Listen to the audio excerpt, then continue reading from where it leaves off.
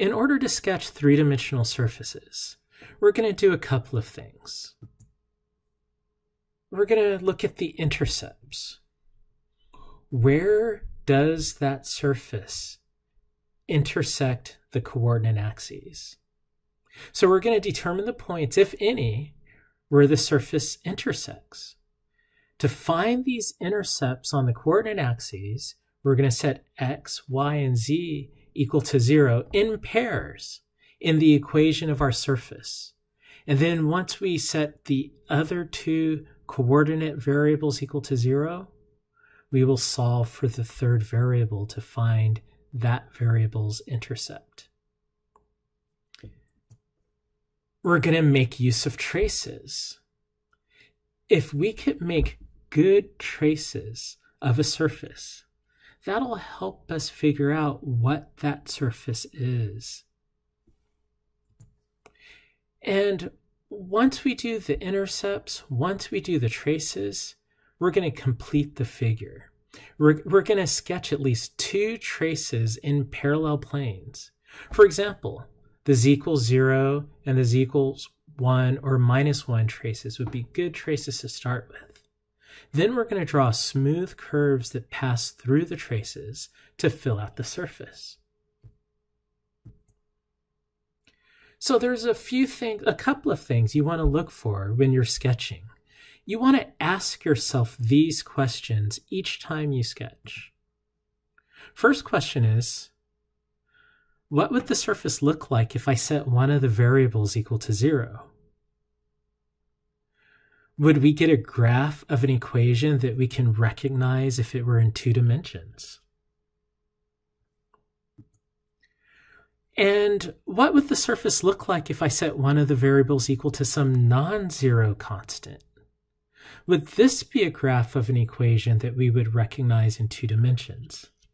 So this is the, the power of traces is how by by sketching the trace of something and projecting that trace into two dimensions it can it will enable us to figure out what curves or what surfaces look like.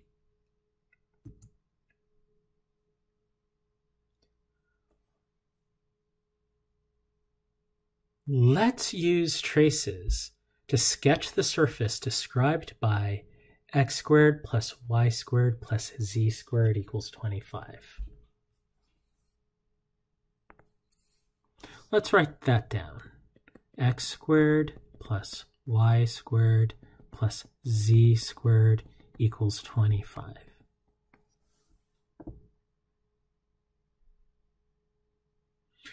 Well, the first thing I want to do is let's just go ahead and find the intercepts of this surface. Before I do that, I am going to create an XYZ coordinate system.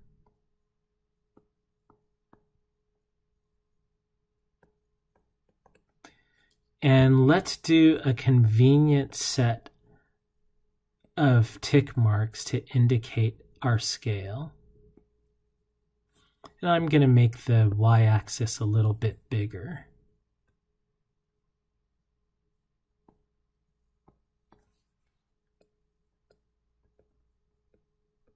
And let's do some scaling in the x direction, in the negative x direction, in the z direction, and in the negative z direction.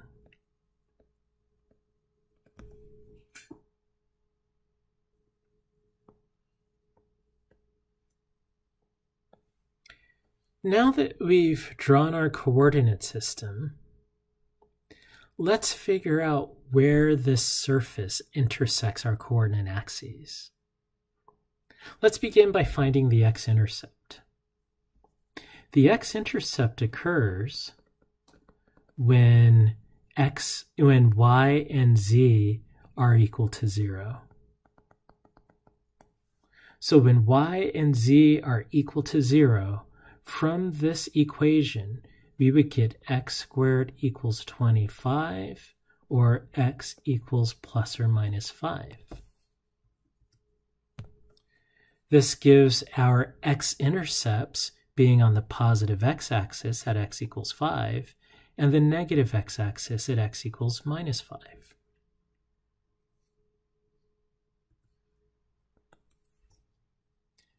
The y-intercept is found by setting the other two axes, um, the other two variables equal to 0. So x and z would be equal to 0 if we want to find the y-intercept. Here, this gives us y squared equals 25, or y equals plus or minus 5.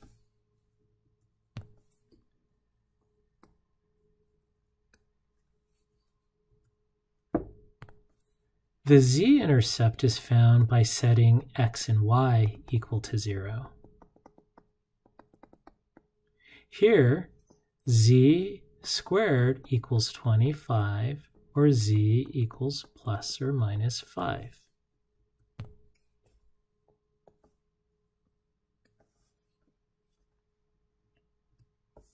Now that we have found the intercepts, let's find some traces to help us figure out what this shape is supposed to be. Let's go ahead and copy this graph to the next page.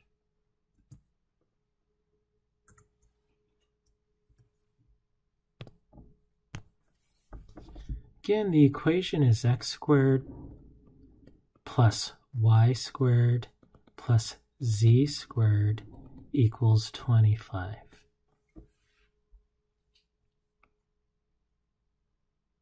Let's start by finding an xy trace. To find the xy trace, let's take a, pl a plane that is parallel to the xy axis, or to the xy plane. So a plane that's parallel to the xy plane would be a plane with some value of z. So we would say z equals some value. How about z naught? And for us, let's go ahead and say z naught is equal to 0. This will produce our first trace. This is a plane that is actually in the coordinate plane at the value z equals 0. So if we take that, that z equals 0, and plug it into our equation, notice we get an equation x squared plus y squared equals 25. Do you know what that is an equation of? That's an equation of a circle in the xy plane. So setting z to some value, and in this case, the value is zero, we were able to get an equation in one of the coordinate planes, in this case, the xy plane, and this equation is a circle of radius 5. Let's go ahead and sketch that circle of radius 5 in the xy plane. That circle would look something like this. All right, so we know we at least have a circle. Well, where do we go from here? Well, let's try a different trace, a trace in a different coordinate plane. This time, let's go ahead and do a trace in the xz plane. So if we do a trace in the xz coordinate plane, that would correspond to a value of y equals 0. So I'll just say y naught equals 0. If we set y equals to 0, our equation becomes x squared plus z squared equals 25. Again, we have an equation of a, of a circle of radius 5 it just so happens, though, that this circle is in the xz plane. Let's sketch that circle that's in the xz plane. That circle looks something like this. All right, and again, that circle if is we're calling it a trace, so really that circle was produced by this plane that we took parallel to the xz plane.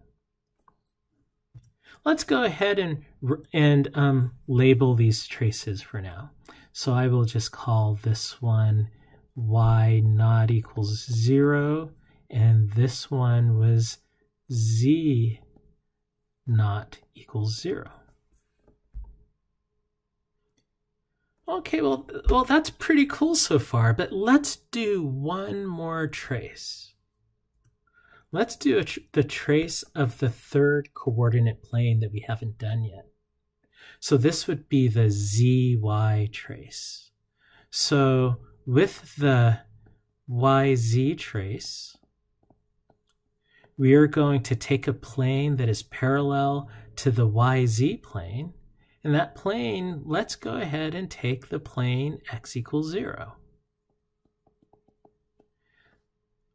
Which means if we substitute x equals 0 into our equation, we would end up with y squared plus z squared equals 25. Once again, this is an equation of a circle, but it's a circle in the yz plane. So let's sketch that this circle right here. Now, unfortunately, my circles are looking really bad. Let me redraw that. And because my scaling wasn't an equal scaling on each coordinate plane, this looks more like an ellipse than it does a sphere. But looking at all of this, I bet that this surface represents a sphere. It's a sphere of radius 5. And the traces help me deduce that because I see that in each coordinate plane, we have a trace that's circular. If we were looking down, for example, from the z axis down to the origin, we would see a circle of radius 5. But then if we looked down from the y, positive y-axis to the origin, we'd have the same circle of radius 5. Well, actually a different circle, but it'll be a circle of radius 5. If we look then down from the positive x-axis, we would get another circle of radius 5. All of those cir circles suggest strongly that x squared plus y squared plus z squared is an equation of a sphere in three-dimensional space.